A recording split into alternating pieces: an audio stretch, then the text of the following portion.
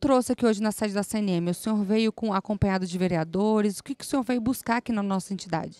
Na verdade, a CNM ela, ela oferece vários serviços para o município, e Calçuene é filiado juntamente com os vereadores e eles precisavam de tirar a sua carteirinha para apresentar nos órgãos aqui, nas instituições e por isso nós viemos aqui e agradecer pelo atendimento, por tudo que a gente foi na verdade, aqui nesta manhã. Então, eu saí daqui com o coração muito tranquilo de ser atendido e também a gente é, tira a declaração falando que nós estivemos aqui em Brasília.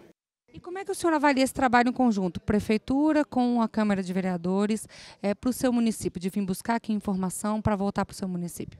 A Câmara de Vereadores ela tem um papel muito importante no município, então ela tem um poder de legislar, é tem um poder de fiscalizar. Então, é, na medida que a gente manda um projeto para a Câmara, todos, é, eu não tenho dificuldade na, na, na hora de aprovar. Então, a gente tem trabalhado muito em parceria e eu tenho falado muito que quanto mais unido, quanto mais a gente junto, é, podemos apresentar um trabalho mais fortalecido e quem ganha com isso é o município.